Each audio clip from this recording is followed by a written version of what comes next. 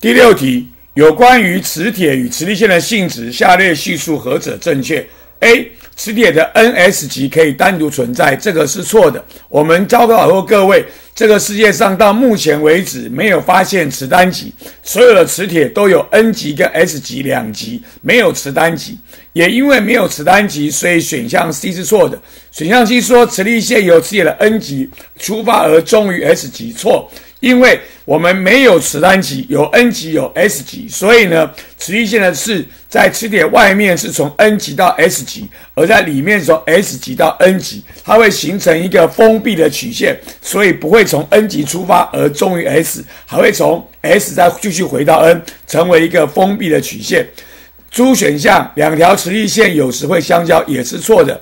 磁力线的切线方向就是受力方向。我们一个磁针只有一个受力方向，所以它不会是两条磁力线相交。因为如果有两条磁力线，就有两条切线，就会有两个受力方向，这是不对的。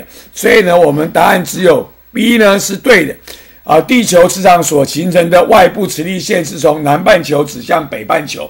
因为呢，地球这个磁铁，我们假想地球内部有个磁铁，这个磁铁呢，在南半球是 N 极，在北半球是 S 极，而我们刚才已经提过了，磁力线在。我们磁铁的外面是从 N 极到 S 极，里面是从 S 极到 N 极，所以我们地球磁场的磁力线在外部呢是从 N 极到 S 极，也就是说从南半球到北半球。所以第六题问我们说，有关于磁铁与磁力线的性质和下列叙述何者正正确？我们答案呢选的是 B，地球磁场所形成的外部磁力线是由南半球指向北半球。